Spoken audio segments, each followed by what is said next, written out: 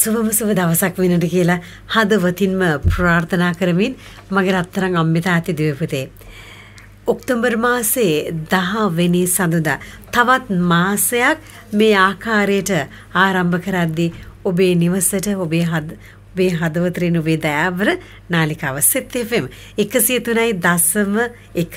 ඉතින් අද දවසේදී අපි හැමෝටම ශුදෝ ස්වාමින් වහන්සේ ආරාධනා කරනවා.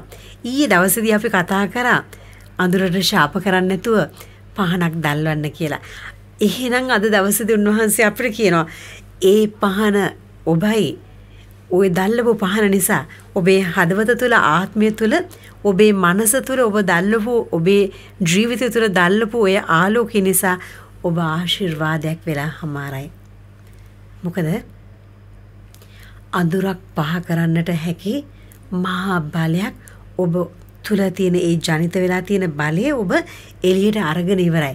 ඉතින් ඔබ ඇවිදින ආශිර්වාදාත්මක ජීවිතයක් බවට පත් වෙනවා.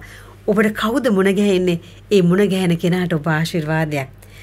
ඔබ ප්‍රාර්ථනා කරන්නේ මොනවද? ඔබ යන් ගෙදර ඉන්නවනද බස් එකේ හිටියත් ට්‍රේන් එකේ හිටියත් රාජකාරී කරන තැන හිටියත් ඔබ කොහේ හිටියත් ඔබ ඉන්න තැන ලස්සන තරංග මාලාවක් නිකුත් වෙන ඔබෙන් මොකද ඔබ ආශිර්වාදාත්මක ජීවිත පැවැත්මක් ගත කරන කෙනෙක් නිසා ඔබේ ඒ වයිබ්‍රේෂන්ස් ටික අනිත් අයට බලගතුව දැනෙන්නට පටන් ගන්නවා. ඉතින් අද දවසේදී ඔබේ ජීවිතය ආශිර්වාදයක්ම වෙන්නට කියලා හදවතින්ම ප්‍රාර්ථනා කරනවා. ඒ සඳහා ජයම ජය. රැඳෙන්න අපිත් එක්ක ආයිවන් සෙත්.